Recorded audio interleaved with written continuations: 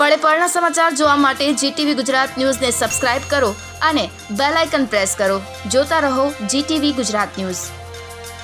સુરત શહેરમાં સતત બીજા દિવસે ધુમ્મસનું સામ્રાજ્ય જોવા મળ્યું. મોડી રાત્રે વિઝિબિલિટી દસ ફૂટથી પણ ઓછી બિલ્ડિંગો અદ્રશ્ય થઈ વાહન વ્યવહારની અસર.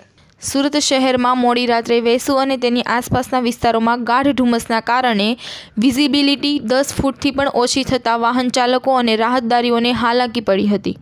શરૂઆતમાં દુર્ગંધ આવતા પ્રદૂષણને લઈ સ્મોકથી ગાઢ ધુમ્મસ હોવાનું જાણકારો કહી રહ્યા હતા. રસ્તા પરની લાઇટો પણ દેખાતી બંધ થઈ ગઈ હતી. વાતાવરણ ધૂંધળું થતાં હાઈરાઇઝ બિલ્ડિંગો પણ વાદળોમાં અદૃશ્ય થઈ ગઈ હતી. એર ક્વોલિટી ઇન્ડેક્સ પણ ગગડ્યું હતું. ગાઢ ધુમ્મસને પગલે ટ્રેનો મોડી પડી હતી. મોસમ વૈજ્ઞાનિક ડીપી દુબેએ જણાવ્યું કે હાલમાં પવનની દિશા બદલાઈને દરિયાઈ તરફ થતાં વાતાવરણમાં ભેજનું પ્રમાણ વધતા ધુમ્મસ થાય છે. બીજી તરફ પ્રદૂષણ અને વાહનોના ધુમાડાને કારણે પણ ગાઢ ધુમ્મસ છવાયું છે. Rahul Makwana GTV news, Surat.